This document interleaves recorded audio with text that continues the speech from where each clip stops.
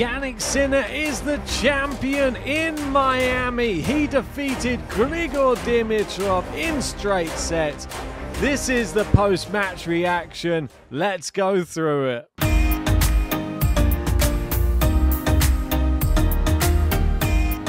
So let's get into it. And Jannik Sinner wins the Miami Open, defeating Grigor Dimitrov 6 3, 6 1 in Miami. And it is his win at the third attempt. It was his third final, but he got it done. They say third time lucky. It definitely was for Jannik Sinner. And you can see how he's progressed over the finals. The first one to Hurkacz, the second one to Medvedev. This time, round, he played Dimitrov, who was in inspired form, and he defeated him in a comfortable nature, it has to be said. And uh, he's now 22 and 1 in 2024. Third title of 2024. Second Masters title. He got another one in Toronto last year.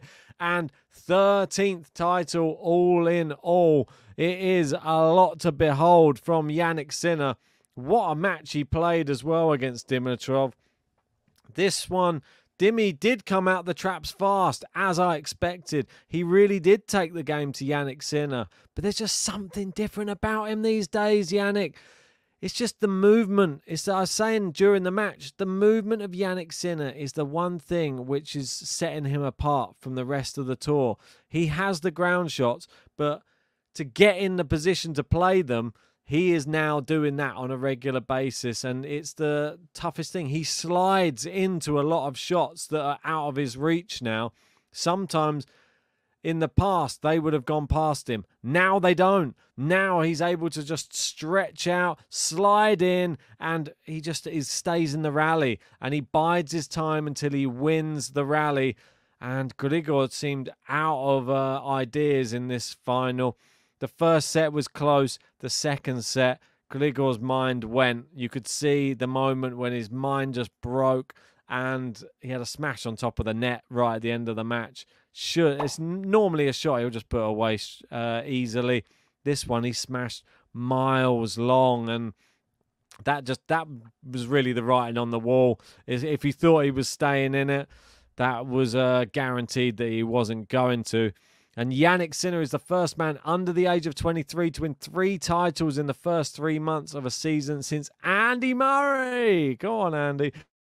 Uh, he is the, only the fourth man to do it since 2000. We've got Lleyton Hewitt, Roger Federer, Andy Murray, and Jannik Sinner making his name into that great elect number of players there and we've uh, it was a great Masters for Grigor Dimitrov. We can't uh, ignore the fact that Grigor actually played well in this match as well. It wasn't just a whitewash final 6-3 6-1 i'd say the first set was very entertaining but the second set it was it was just very tactical and you just saw it was just a battle of minds it was it wasn't a battle of physicality this final. We know that they can both be physical. We know that Grigor can just do his best and wipe people off a court. It just wasn't working in this match. And uh, he played incredible tennis for 10 days, defeated Tabilo when the match seemed over, 6 1 6 love to Hanfmann, defeated Hurkacz, Alcaraz, Zverev, all back to back, playing almost perfectly and return to the top 10. We got to remember that as well about Grigor. Uh, absolute legend and super nice guy. And he only has good things to say about his fellow uh, players on tour. And this is what he said about Jannik after the match. He said, Jannik, I'm going to start with congratulating you and your team.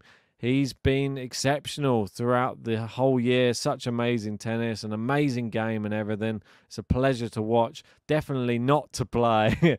This tournament has been difficult throughout all the years. This year, I was so determined to do well that I almost did too well.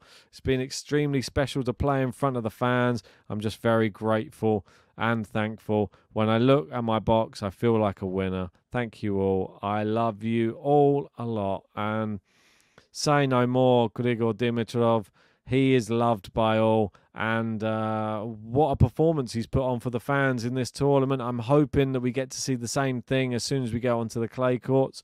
and for the rest of the year, rest of the career as well, hopefully for Dimitrov. But we're here to talk about Sinner, the champion, as well. And it's 22 and 1 so far this season. Australian Open champ, Rotterdam champ, Indian Wells semi finalist, Miami champ in the race to number one. Uh, well, in the race, he's number one. Uh, to number one at the end of the year, and he is the current uh, standings. He is the now the new world number two, overtakes Carlos Alcaraz. There's the man, Jannik Sinner, and um, the word number one comes up again because Jannik is the first player to claim the men's singles title at the Australian Open and Miami Open in the calendar year since Roger Federer in 2017. Well, there's been a lot of comparisons with him and Roger Federer. Maybe we're going to have the Alcaraz Nadal. We're going to have him and Federer being compared consistently. And just to finish off, Vance just confirming Jannik Sinner is going to be great on clay. I've got no doubts. The unpolished, skinny version that made a uh, Monte Carlo semi final, Rome quarter final, beat Alcaraz and Umag, and gave Nadal problems for two sets at Roland Garros in the quarterfinals. Um, world number one looks likely if he keeps uh, up this nearly unplayable level. I would agree with you there, Vance. I think Jannik Sinner he looks incredible. Let me know uh, your thoughts about Jannik Sinner's performance in this Miami Open and tell me how you think he's going to fare on the clay courts too. But that's enough from me. Jannik Sinner reigns supreme again. He is the best tennis player on tour right now. Or does Djokovic have something to say about that? Seen him warming up on the clay a bit earlier than usual. I can't wait for the clay court swing, let me tell you that much. Hit a like, subscribe, and we'll see you uh, probably tomorrow. It's going to be the countdown. It returns. So join us for the podcast.